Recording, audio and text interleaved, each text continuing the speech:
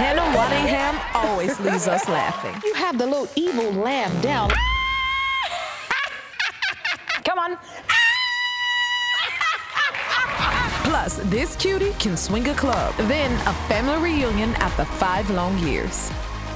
Tuesday at 10 on WBNX.